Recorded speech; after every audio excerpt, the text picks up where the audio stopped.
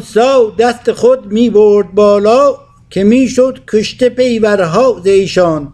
فرو می برد دست خسته خویش. خطر بود از بهر جوانان. نفاق افتاد مابین عمالق هزاری یک نماند باقی ز ایشان. چو گردیدند کشته مانند پشته زمین ریختند. چون برگ درختان شدند مغلوب. قوم بت پرستان بماند باقی خدا ترسان